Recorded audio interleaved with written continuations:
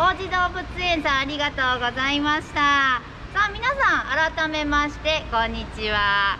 さあねここからご覧になった方のために少しだけこちらのイベントご紹介をさせていただきますと。さあね毎年5月の最終水曜日を世界カワウソの日とされているんですね。さあ今回はそんなカワウソの日にちなみまして関西八園館の動物園水族館がリレー配信を行っております。さあ題しまして見て聞いて世界カワウソの日。関西八園館からリレー配信と題しましてね順番にカワウソについてお話をしています。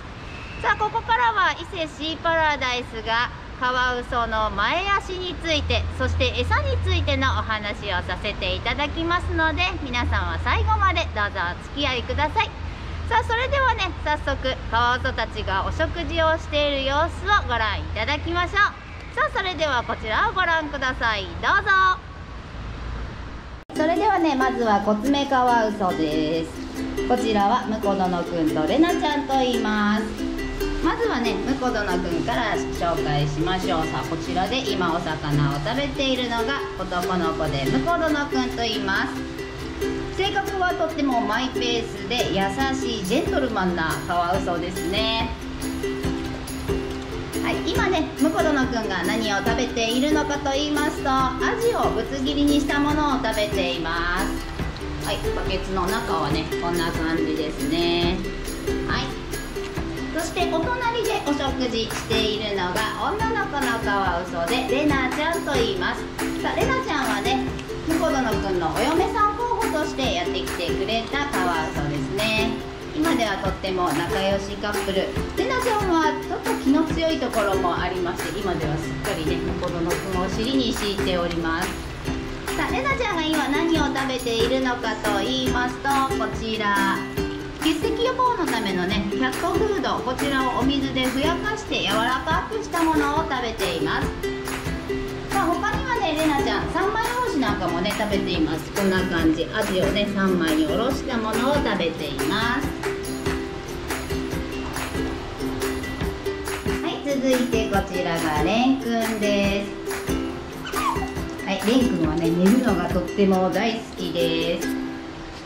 一日のほとんどをね寝て過ごしているので なかなかお顔を見ることはないんですけれどもよくね小屋の中でドンゴロスに丸まりながら寝ていることが日中は多いですね。はいかわいい。はいあとはねお顔の周り触ってもらうのがとっても大好きですね。もしょもしょしるのなもしょもしょもしょとってもね穏やかな生活をしている男の子です。さあれんくんもね何を食べているかと言いますとれなちゃんと同じですね。こんな感じ。血石予防のためのキャットフードを柔らかく増やしたものと三枚おろし味の三枚おろしをね食べています。さあレン君はねアジの三枚おろしがとっても大好きなのでキャットフードを食べ終わる前にね先にアジの三枚おろしをちょうだいって言ってくることもたくさんあります。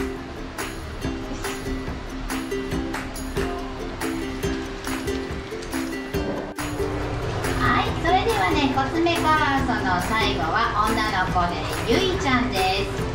さあゆいもね好き嫌いがとってもはっきりとしています。ちょっとね気の強い性格をした女の子です。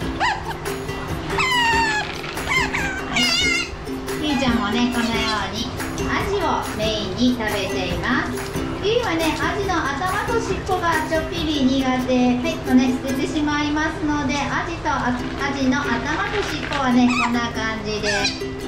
はい取ってあります、この他にはねアジの他には結石予防のキャットフードも食べています。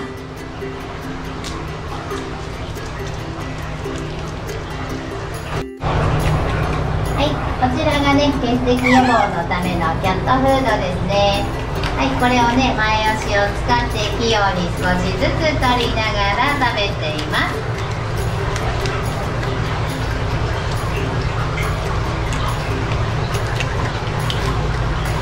手でね上手につかみます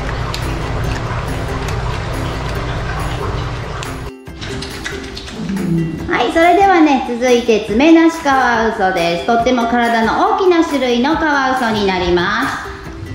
はいこちらはねお名前をひらりと言います。ひらりくんです。男の子今年5歳になりました。さあねおもちゃで遊ぶのがとっても大好きで寝る前にはね必ず気に入ったおもちゃを一つ抱えて遊びながら寝ていきます。とってもねお茶目な性格です。さあこんなひらりくんですけれども普段何を食べているのかと言いますととってもね美味しそうに食べていますがこちらです。アジやイカナゴなんかをねぶつ切りにしたものを食べています。はいこんな感じで美味しそうに食べてます。すごいねくちゃくちゃしながら食べているお顔は決して可愛らしいとは言えませんがこんな感じで食べています。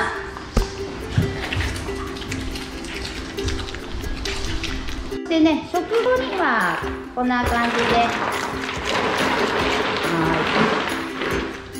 欠席兼ねてね食べれるおもちゃといった感じでこんなキューブの氷を揚げています。これも美味しそうにこんな感じ食べます。手でねコロコロ転がしたりしながら遊びながら食べています。水分補給も兼ねてねこんな風に氷もあげています。それではね伊勢シーパラダイス最後に登場しましたのがこちら爪なしカワウソきらりくんです。先ほど紹介しましたひらりくんとはね双子の兄弟です。はいこちらのきらりくん性格はと言いますと5歳になりました。今でもとっても甘えん坊です。毎日ねお姉さんに抱っこをせがんでいます。さあね触ってもらったり抱っこしてもらったりがとっても大好きな甘えん坊のカワウソです。さあこのきらりくんも何を食べているのかと言いますと先ほどのねひらりくんと同じになりますね。こんな感じ。アジやイカなどを細かく切ったものを食べています。はい欲しはい、きらりくんもねもちろん最後には欠席予防と食べれるおもちゃで氷を与えています。あー氷食べるね。はいよし。はいそれではねカワウソたちのお食事風景皆さんにご覧いただきましたけれども伊勢シーパラダイスではどのようなお魚をあげているのか改めてご紹介したいと思います。さあこちらになりますね。伊勢シーパラダイスではイカナゴとアジを中心に揚げています。大きな爪なしカワウソにはイカナゴとアジ。コツメカワウソにはねアジを中心に揚げています。さあ切り方はねそれぞれの動物によって少しずつね変えています。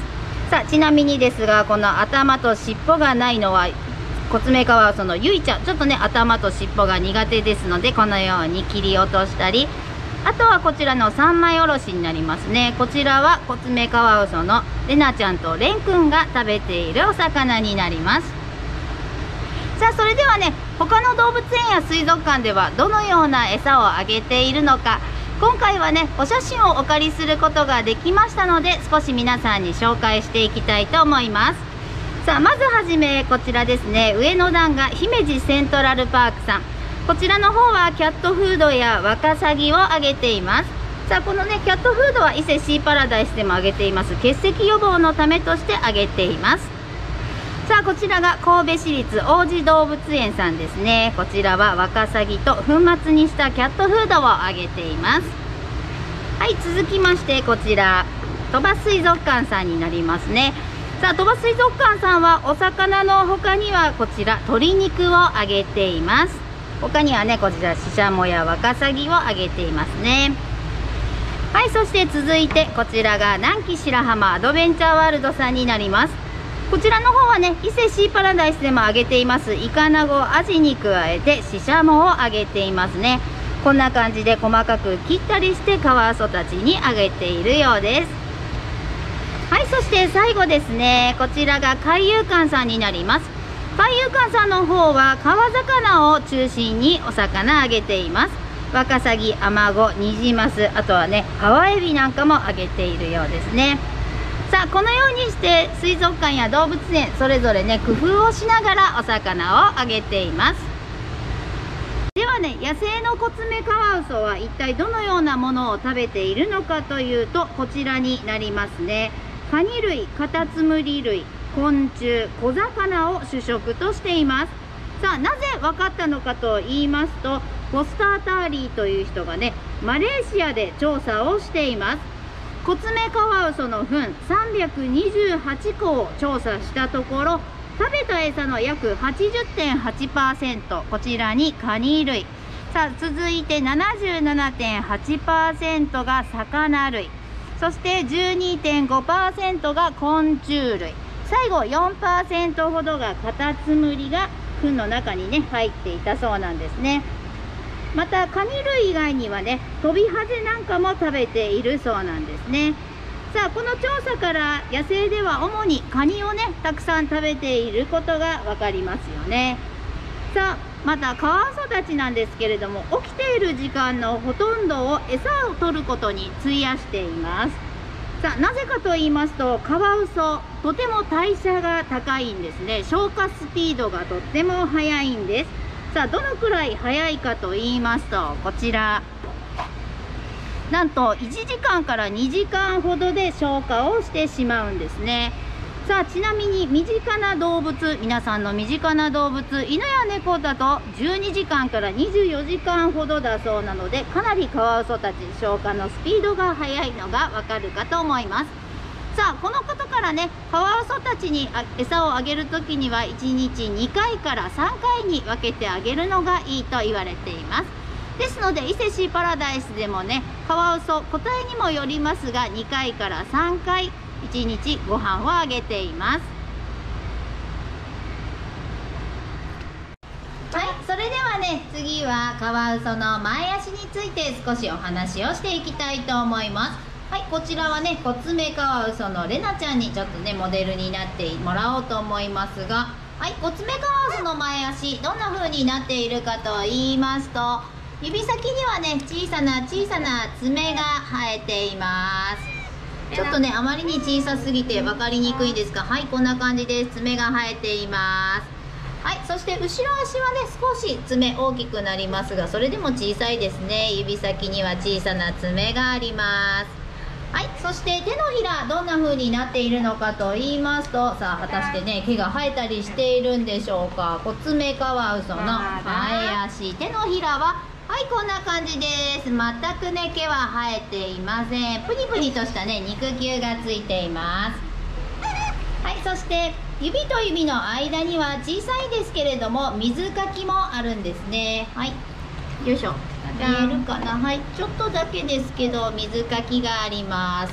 後ろ足の方がねほら開くとよくわかりますね。水かきがありますはい、コツメカワウソもねとても手先が器用ですので餌を探す時にはこの前足を隙間に突っ込んで手で探りながら餌を探していきます、はい、今ねレナちゃんも前足を使いながら餌を食べていますがこんな感じでね手で握ったりすることもとっても上手にできるんですよはい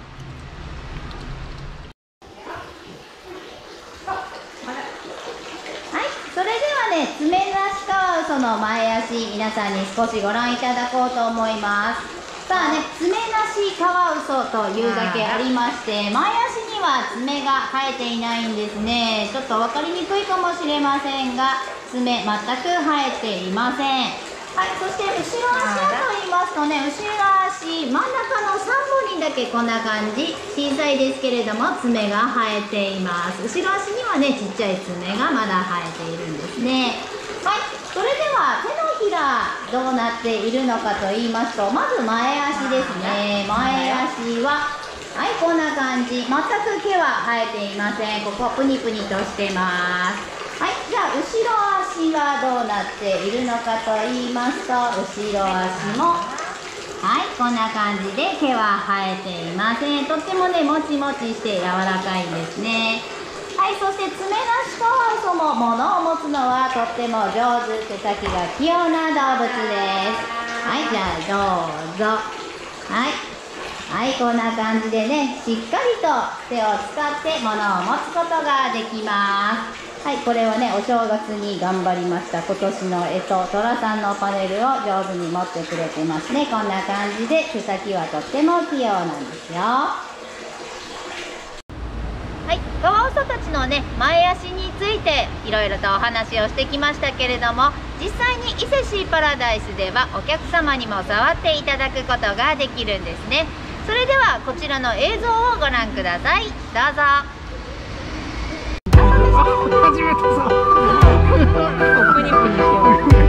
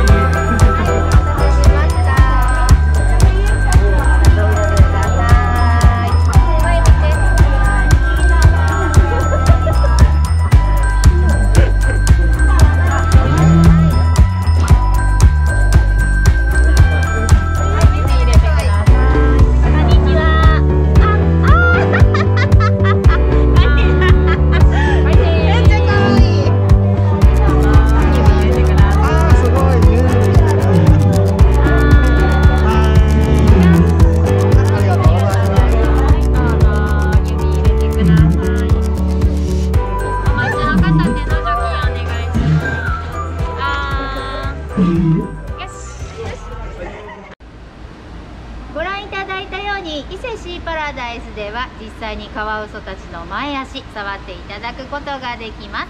そうね触っていただくとまたね新たな発見もあるかと思いますのでぜひね伊勢シーパラダイスに来ていただいて触っていただけたらと思います。さあ今回の配信リレーを通してカワウソたちの新たな魅力などをねより一層知っていただけたら幸いです。さあ以上でね伊勢シーパラダイスからの配信は終了となりますがこの後13時からは姫路セントラルパークさんからカワウソの体の仕組みについてのお話があります。さあそれではね姫路セントラルパークさんよろしくお願いします。